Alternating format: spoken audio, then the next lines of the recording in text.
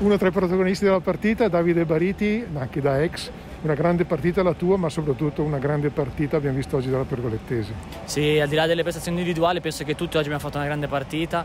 Volevamo prendere punti perché dovevamo muovere la classifica. Ci siamo riusciti addirittura a portarne via tre in un campo difficile, uno dei più difficili, è stata una vittoria fondamentale per noi, per il morale, per la classifica e per tutto. Siamo contentissimi una vittoria che dà un segnale anche alla classifica nel dire che la posizione della pergolettese in questo momento forse è un po' falsa.